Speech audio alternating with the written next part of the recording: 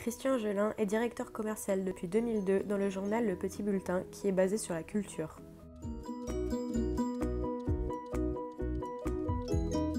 Euh, moi j'ai une formation, euh, j'ai fait une prépa HEC, mais je me suis planté en prépa. J'ai fait 3 ans de prépa et j'ai pas eu les écoles de commerce. Donc j'ai travaillé un boulot plutôt commercial à l'UCPA.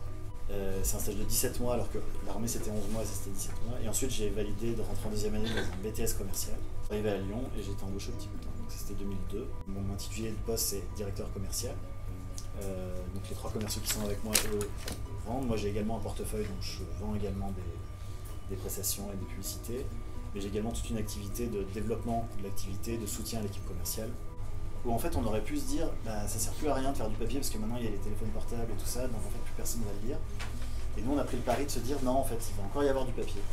Finalement l'information qui a le plus de valeur par rapport à toutes celles qu'on voit défiler sur nos téléphones, tac tac tac comme ça, c'est finalement ce qui est dans le papier. Et dans la version papier, on va avoir le premium finalement, l'information qui est la, la plus valorisante d'une certaine manière. La patience, au sens où il faut écouter, attendre, etc. Mais également la curiosité. Donc il y a le pendant humain, curiosité, euh, attention, etc. Et le pendant organisationnel sur, l'activité.